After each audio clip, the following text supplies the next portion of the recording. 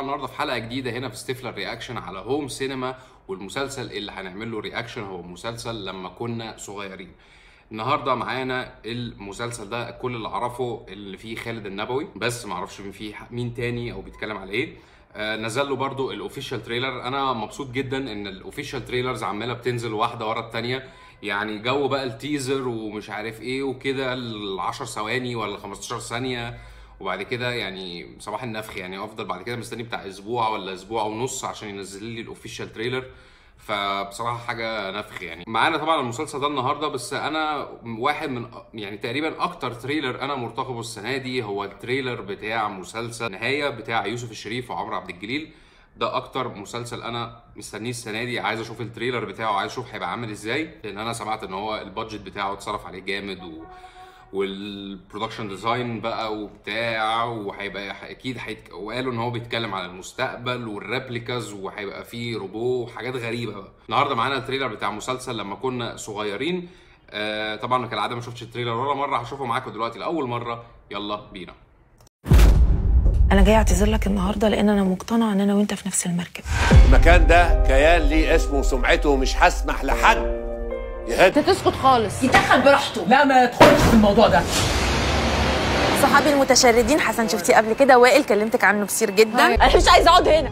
يحيى ده ابني زي ما هو ابن سعادتك بالظبط. عادي يعني ممكن تقولوا إن هو ما كانش دريان سليم بس مفيش حد غيرك يقف جنبنا. لقد نفد رصيدك. مش هسيب اللي عمل كده غير لما يدفع الثمن بصوا آه نسبة رقابي مش هتبقى عالية للمسلسل ده بس أنا هتفرج عليه عشان السببين. عشان خالد النبوي وعشان محمود حميدة مش عشان أكتر يعني. ونسبة ترقبي برضو للمسلسل هي ستة من عشرة.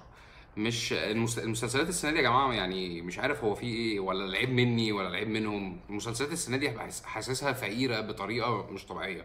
يعني السنة اللي فاتت كان في مسلسلات كتيرة قوي حلوة السنة اللي قبلها كان في مسلسلات كتيرة قوي حلوة.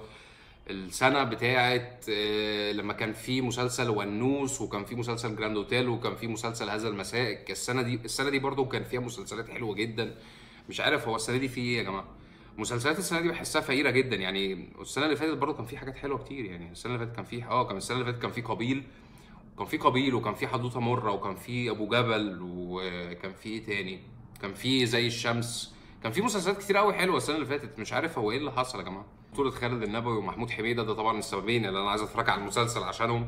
ومعانا كمان ريهام حجاج ونسرين أمين وكريم قاسم وهاني عادل ومنى فضالي ومحمود حجازي ونبيل عيسى ومحمد يحيى وحسن عبد الله. في ناس كتيرة قوي في المسلسل ده وتأليف أيمن سلامة وإخراج محمد علي.